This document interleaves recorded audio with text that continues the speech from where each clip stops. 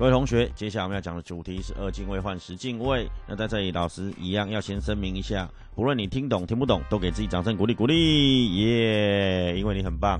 那看完了以后，你就增广见闻了，好不好？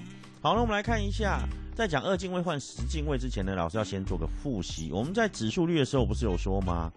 任何数的零次方要等于一，然后只要这个数本身不是零就好。那二的零次方要等于一嘛？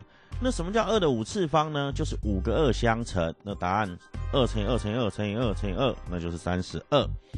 好，有了这个以后，我们来看一下二进位换十进位。假设我们知道了二进位数叫一零一零一一，那怎么把它换成十进位呢？很简单，来从尾巴排过来。我们不是念的时候是念一零一零一一吗？排的时候倒过来一一零一零一。好，倒过来排以后，从二的零次方一直写写写写到最后一个。那像这个题目的话，就二的零次方、二的一次方、二的平方、二三次方、二四次方、二的五次方。那就一乘二的零次方，那就一乘一等于一。一乘二的一次方呢，就一乘二等于二。零乘以二的平方，二的平方是二乘以二是四啊，那就零乘以四是零。一乘以二的三次方，来，二的三次方是三个二相乘，二乘以二乘以二，答案等于八。好，那就一乘以八写在这里。那在零乘以二的四次方，二的三次方是八，二的四次方的话就二的三次方再乘一个二，八乘以二是十六。好，那零乘以十六是零。二的五次方是二的四次方再乘一个二，十六乘以二是三十二。好，一乘以三十二，答案等于三十二。